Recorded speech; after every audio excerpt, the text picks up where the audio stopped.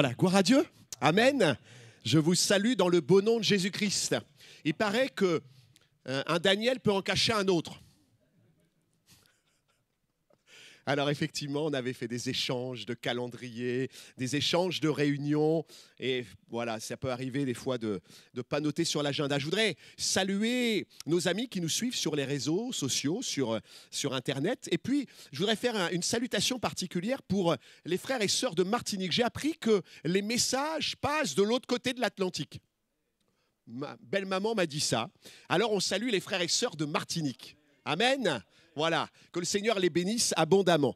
Ce soir, j'aimerais... euh, il y a une suite, vous avez une réunion de prière suivie, je dirais, avec, euh, avec Daniel. Et ce soir, moi, je, je vais couper un petit peu et je voudrais m'arrêter sur un verset que nous utilisons souvent et sur lequel j'ai penché mon regard. Ésaïe 41, verset 10. Et vous comprenez pourquoi j'ai penché mon regard dessus. Ésaïe 41, verset 10. On sait qu'Ésaïe a été un grand prophète, même du temps de Sanchérib, sur quatre royautés, mais je ne vous parlerai pas d'Israël ce soir, mais, mais de nous au travers de ce texte. Ésaïe 41, verset 10. Ne crains rien, car je suis avec toi.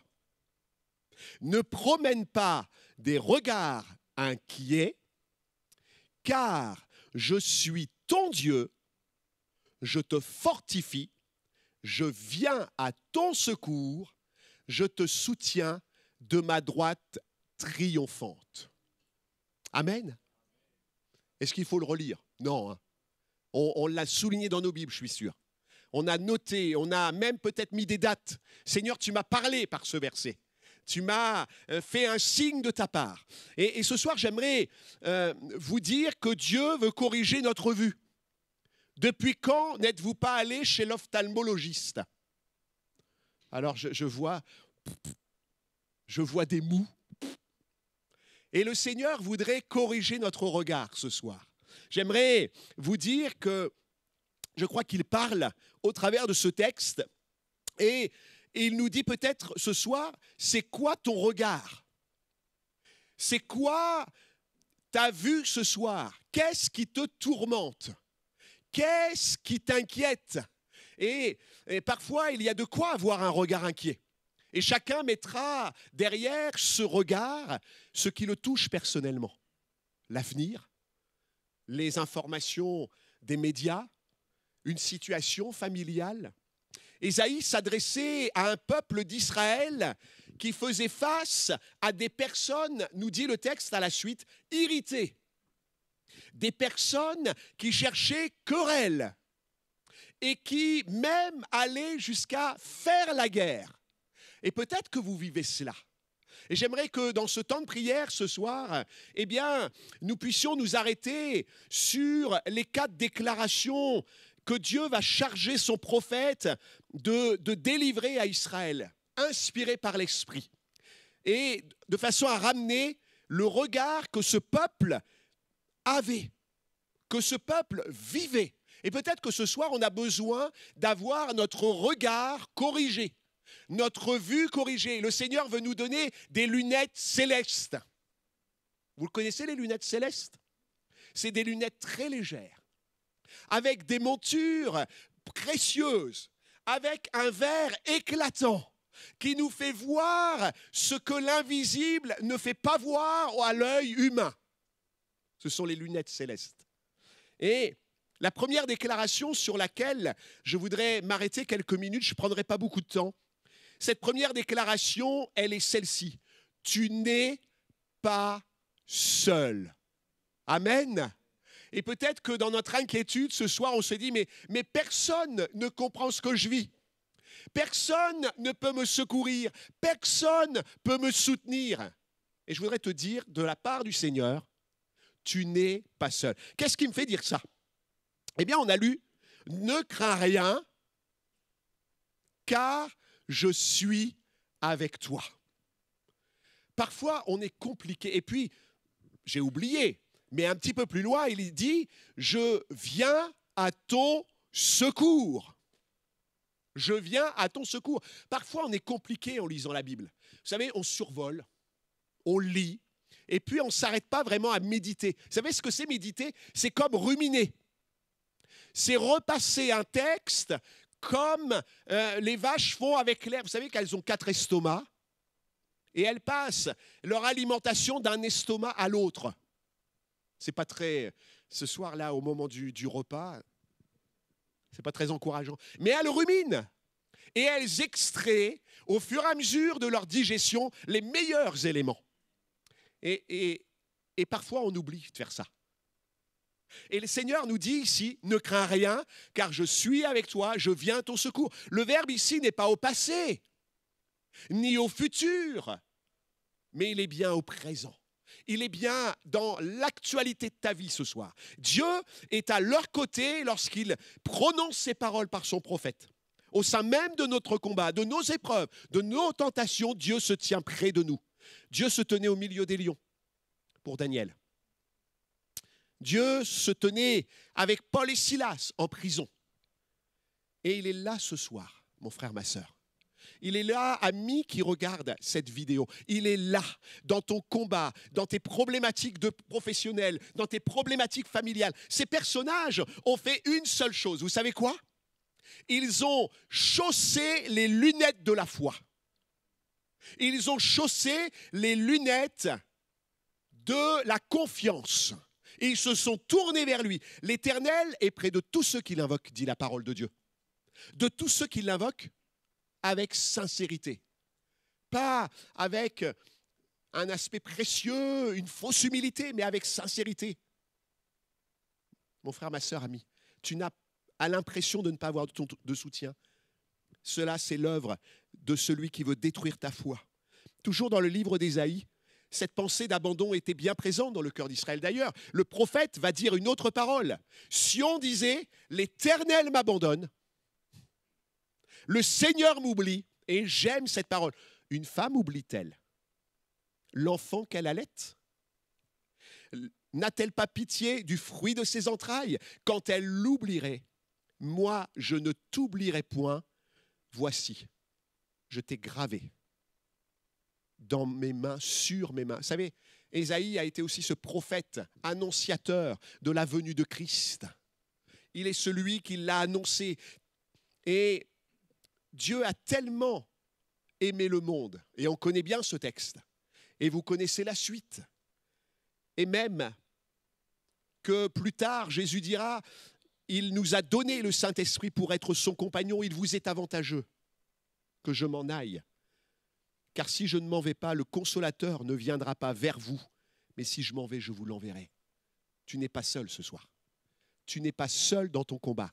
Tu n'es pas seul dans ta lutte. Tu n'es pas seul face à tes ennemis. La deuxième déclaration, après avoir vu cette première, tu n'es pas seul. La deuxième déclaration qu'Ésaïe fait à Israël, qui est là face à des hommes belliqueux, pleins de querelles, pleins d'animosité, il dit ceci tu lui appartiens. Vous savez, la vie chrétienne n'est pas un long fleuve tranquille. Et parfois, on a vite fait de remettre le vieux vêtement. Pas celui de l'homme nouveau, pas celui de la femme nouvelle, mais celui de l'ancien homme charnel. Et on remet ce vêtement et on oublie que nous appartenons à Dieu. Nous appartenons à celui qui nous a aimés, celui qui nous a enfantés à la vie. Ne promène pas des regards inquiets, car je suis Dieu. Vous savez, cette deuxième déclaration complète la précédente. Et en disant je suis ton Dieu, il y a une réciproque. Tu es mon peuple, finalement. Je serai ton Dieu, vous vous rappelez de ce texte, je serai ton Dieu et tu seras mon peuple. Il y a une réciprocité. Dieu déclare ainsi sa possession, c'est-à-dire notre appartenance. Je ne m'appartiens plus. Tu ne t'appartiens plus. Et J'aimerais vous rappeler cette histoire moyenâgeuse où tous ceux qui étaient au service d'un maître, qu'il soit comte, qu'il soit duc, qu'il soit prince, tous ces cerfs qu'on appelait, vous savez, les cerfs. Alors, quand, on m'a dit cerfs, je ne comprenais pas trop. Non, les animaux ne lui appartenaient pas, mais les cerfs, les serviteurs, les servants, ceux qui étaient là sur le domaine, eh bien, lui appartenaient et en retour, vous savez ce qu'il y avait? Il y avait une protection. Il y avait ce château fort, cette, cette enceinte où il pouvait se réfugier en cas d'attaque. Mon frère, ma soeur, ce soir, enlève ce regard inquiet et, contemple celui auquel tu appartiens. Il est le grand vainqueur. Il est celui qui assure ta protection. L'Esprit ne rend-il pas témoignage à notre esprit que nous sommes enfants de Dieu? Le diable voudrait dire, tes péchés te séparent de lui, ta vie passée, tes échecs, tes pensées, tes réflexions, parfois une parole dans la semaine. Vous savez, on a vite fait de tomber par terre. Vous dites un mot de trop, vous vous trouvez que vous êtes en colère, et, le, malin vient vous dire, t'as vu comment tu as réagi? T'as vu? Mais le Seigneur nous dit ce soir par son esprit, tu m'appartiens. Tu appartiens au Seigneur. Tu appartiens à celui qui t'a enfanté. Mon regard inquiet ne doit pas me détourner de cette réalité. Mon regard inquiet ne doit pas me détourner du fait que je suis la créature de Dieu. Et en plus, si je lui ai confié ma vie, je suis son enfant, il est mon Père. Et nous devons comprendre qu'un Père tel que lui ne laisse pas son enfant dans un état d'inquiétude, dans un état de peur. Vous connaissez les paroles des enfants? Eh bien, mon papa, à moi, il est fort. Et vous avez le petit camarade à côté ou la petite fille à côté qui va renchérir. Eh bien, le mien, il est plus fort que le tien. Parce que sa voiture, elle est plus grosse. Ça nous fait rire. Ça nous fait sourire. Alléluia. Mais c'est tellement vrai. Notre Père est bien plus grand que tous les autres papas du monde et encore plus de notre ennemi. Et nous ne sommes pas des enfants euh, pour nous chamailler, mais pour saisir cette parole qui est la suivante, quand je n'étais qu'une masse informe, mon frère, ma soeur, eh bien tes yeux me voyaient. Vous vous rendez compte de ça? Peut-être qu'on a perdu notre identité ce soir. Peut-être qu'on ne sait plus qui on est. Peut-être qu'il euh, y a un flou à nos lunettes. Elles sont peut-être rayées par les accès de la vie, les, les souffrances eh bien, tes yeux me voyaient, sur ton livre étaient tous inscrits les jours qui m'étaient destinés, avant qu'aucun d'eux n'existât. Est-ce que tu vois mieux maintenant? Est-ce que l'inquiétude commence à se dissiper à ton regard? Tu lui, tu n'es pas seul, tu lui appartiens, mais en plus, Ésaïe poursuit, il y a une troisième déclaration. Tu es fort. Ah bon? Gédéon a été surpris quand l'ange de l'Éternel va lui dire vaillant héros. Et encore plus surpris quand il va lui dire va avec la force que tu as. Tu es fort. D'ailleurs, Ésaïe va dire tout simplement je te fortifie, je te communique ma force. Je te donne les forces nécessaires pour faire face à l'inquiétude. Vous le croyez? Amen. Je te donne les forces nécessaires pour que tu fasses front à l'inquiétude. Assurément, tu fais face à des difficultés, mais je te communique de la force, je te communique ma force, dit le Seigneur. Jésus a dit, je suis les cèpes, vous êtes les sarments. Celui qui demeure en moi et qui, en qui je demeure porte beaucoup de fruits. Alléluia sans moi, car sans moi, vous ne pouvez rien faire. C'est lui qui nous communique la vie, c'est lui qui nous communique la force, c'est lui qui nous communique la, vie en lui. Et alors que ce qui me trouble me paralyse, alors n'a plus d'emprise sur moi. Aux hommes, cela est impossible, mais à Dieu, tout est possible. Oh là là si nous pouvions avoir cette vision et ces paroles, qu'est-ce qu'on serait vainqueur? Qu'est-ce qu'on serait moins inquiet? Qu'est-ce qu'on serait moins troublé? Vous savez, j'aime les paroles de David face à Goliath. David, celui que l'on considérait comme le petit blondinet, au regard de biche, qui était relégué à garder les moutons lorsque Samuel cherchait le roi d'Israël. Oh, Eliab, il avait une belle prestance, il faisait 1m90, il avait des pectoraux, il avait des biceps. Et Samuel même va être troublé, va dire c'est lui. Et le Seigneur va dire non, non, non, regarde pas aux apparences. Alors il passe les frères, les uns après les autres. Sont cela tous tes fils? dira Samuel. Ben non, mais j'ai un petit dernier, mais pourquoi tu ne l'as pas amené? C'est bien ton fils. Oh oui, mais il est petit, il est jeune, il est faible. Et c'est ce David qui, face à Goliath, va lui dire, tu marches contre moi avec l'épée, la lance, le javelot. C'était un homme de guerre. C'était un homme qui impressionnait, c'était un homme qui faisait trembler l'armée d'Israël. Mais David, il était fortifié par son Seigneur. Il était puissamment encouragé. Et il va dire, moi, est-ce qu'on le dit ça? Je marche contre toi au nom de l'Éternel des armées, du Dieu de l'armée d'Israël que tu as insulté. Certes, il avait sa fronde, certes, il avait quelques pierres, mais face aux armes, face à la vigueur de ce géant, vous croyez que humainement on aurait dit je vais gagner le combat? Non, il a été fortifié par son Seigneur. Il a été fortifié par celui qu'il servait. Paul nous laisse des paroles pleines de puissance. Je puis tout. Mon frère, ma soeur, tu veux bien répéter avec moi? Je puis tout par celui qui me fortifie. Et je ne sais pas comment vous êtes venus charger ce soir. Et je ne sais pas, euh, les amis qui suivent cette vidéo, comment ils sont chargés ce soir. Mais je voudrais leur dire que nous pouvons tout par celui qui nous fortifie.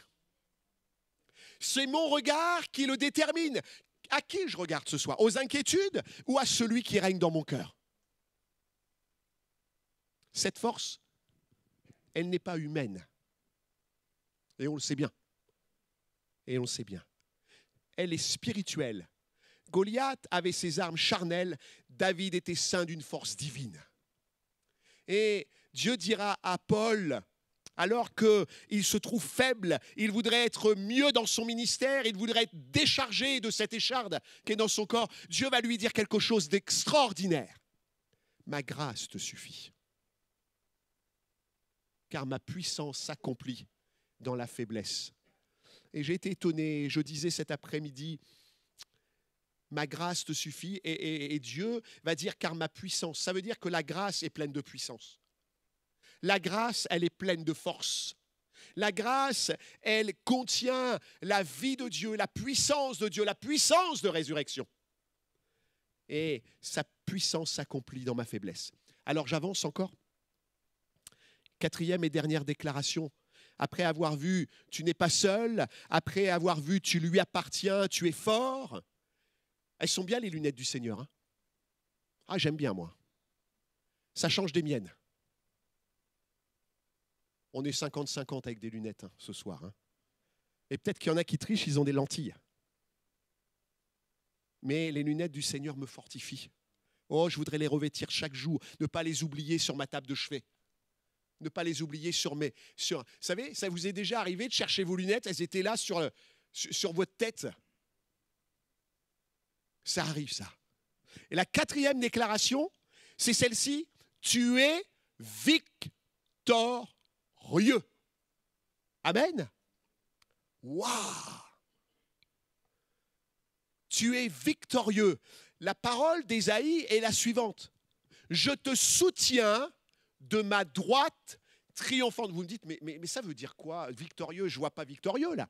Mais si, si, cette droite, cette droite triomphante, finalement, c'est le bras de Dieu c'est cette puissance de justice, cette puissance de grâce. Finalement, Dieu donne ici une perspective de victoire.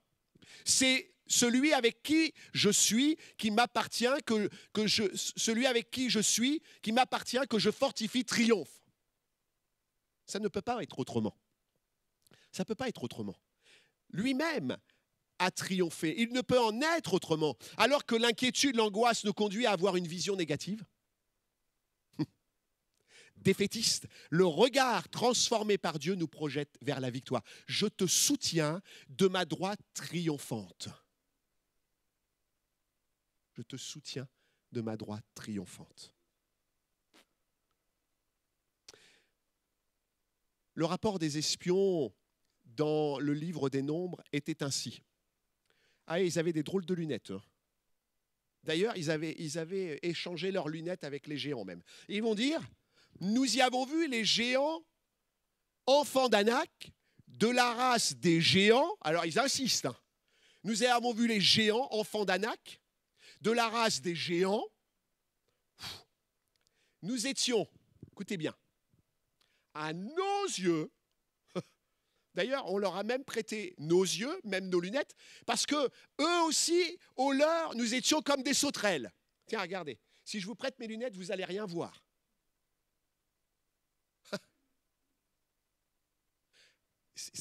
C'est incroyable comment on peut se diminuer à nos yeux. Comment on peut dire on va, va jamais gagner. On va jamais vivre les choses exceptionnelles de Dieu. Parce qu'on revêt un regard de défaite, un regard euh, de, de négativisme. Je vais vous dire quelque chose. Et c'était vrai qu'il y avait des géants. Il y a la maladie, c'est un géant. Des problèmes familiaux, sont des géants. Tu as un problème de travail, c'est géant ça. Tu as un problème financier, c'est un géant dans ta vie mais ce n'est pas ça qui empêche que tu vas triompher. c'est pas ça qui va empêcher que tu triomphes. Caleb et Josué vont tenir un autre discours. Ils avaient revêtu les lunettes que Dieu leur fournissait, lunettes de foi, lunettes d'espérance, lunettes dans lesquelles Dieu faisait voir sa puissance. Si l'Éternel nous est favorable, il nous mènera dans ce pays et nous le donnera. C'est un pays où coule le lait et le miel. Seulement, seulement, ne soyez pas rebelles contre l'Éternel. Ne craignez point les gens de ce pays, car ils nous serviront de pâture. Ils n'ont plus d'ombrage pour les couvrir. Ils n'ont plus d'ombrage. Ils voyaient ça. L'Éternel est avec nous. Ne les craignez point. Ils avaient des lunettes autres que les autres, les dix autres espions. Vous savez, notre regard peut être retenu par toutes sortes de peurs d'appréhension. Et on, a tous vécu ça. On a tous, parfois, des examens, on avait peur, on était inquiet. Parfois, lorsqu'on allait voir un médecin, on était inquiet, on avait un regard sur les résultats. Vous savez, dès que les résultats d'analyse arrivent, on est. Oh Puis alors, on regarde ce qui est en gras. Et on tremble. C'est vrai, hein? Ou alors, on a une lettre des impôts et on l'ouvre et on se dit, mais qu'est-ce qui va m'arriver? Non, vous n'êtes pas d'accord? C'est incroyable. Notre regard peut être retenu par toutes sortes de peurs, d'appréhension. Mais cela serait un déshonneur pour Dieu que de nous laisser guider par elle. C'est un déshonneur pour Dieu. Parce que notre Dieu est plus puissant et plus grand. Comme le dit Paul, mais dans toutes ces choses, nous sommes plus que vainqueurs par celui qui nous a aimés. Vous savez ce que c'était ces choses? C'était, et parmi ces choses, il y avait la tribulation, l'angoisse, la persécution, la faim, la nudité, le péril, l'épée. mais Paul dit, mais dans toutes ces choses, nous sommes plus que vainqueurs par celui qui nous a aimés. Dieu ne nous aimerait-il plus? Est-ce qu'on peut répondre à, notre, à cette question Dieu ne nous aimerait-il plus? Dieu nous aime d'un amour inconditionnel, éternel, fidèle, plus que nous. Alors je conclus. Seigneur, corrige mon regard ce soir. Corrige mon regard. Rééduque ma vue. Vous savez, il y a des orthoptistes. on met des lunettes chez les enfants, ça y il y a des toutes petites rayures qui sont imperceptibles pour redresser, pour corriger, parce qu'il y a des strabismes. Vous connaissez ça? Et puis nous, on a des corrections dans nos verres. Ça ne se voit plus maintenant, hein. les doubles foyers, c'est fini. Hein. Mais on corrige notre vue. Seigneur, corrige ma vue. Corrige mon regard ce soir. Donne-moi de me rappeler ces quatre déclarations. C'est vrai, je, ne peux me mentir, il y a des inquiétudes. Qui n'est pas inquiet ce soir? Cet après-midi, je disais à la réunion, qui vote pour les épreuves? Alors, euh, qui n'est pas inquiet ce soir? Qui vote pour Qui vote contre Qui s'abstient? Oh, On a des inquiétudes, hein. des interrogations. Mais je veux déclarer ces quatre, ces quatre paroles que je vous dis. Je ne suis pas seul. J'appartiens à Dieu. La deuxième je suis fort avec lui. Et puis, il m'accorde sa victoire. Amen. Alors on va présenter et demander au Seigneur de, nous corriger ce soir dans notre vue. Seigneur, j'ai peut-être une vue basse ce soir, j'ai peut-être une vue, Seigneur, déformée, je, suis peut-être astigmate, Seigneur, je suis peut-être hypermétrope dans ma vue spirituelle, je suis peut-être, Seigneur, presbyte, myope, Seigneur. Mais ce que je veux, c'est voir comme tu vois. Donne-moi ta vision. Donne-moi tes paroles dans ma vie. Seigneur, corrige ma vue ce soir. Seigneur, enlève mes inquiétudes. S'il te plaît, Père, Seigneur, éveille-moi, Seigneur, à, regarder à toi. Corrige mon regard. Détourne mon visage de mes inquiétudes. S'il te plaît, Père, dépose dans le cœur de mes frères et sœurs des amis, Seigneur, qui vont regarder cette vidéo, cette pensée, ces quatre déclarations. Seigneur, et qu'elle nous habite, qu'elle, Seigneur, nous accompagne chaque jour. Seigneur, Père, Père, corrige notre vision ce soir. Notre vue ce soir? Seigneur, s'il y a un manque de vision, un manque d'éclaircissement, illumine les yeux de notre entendement. Père, au nom de Jésus. Amen. Amen.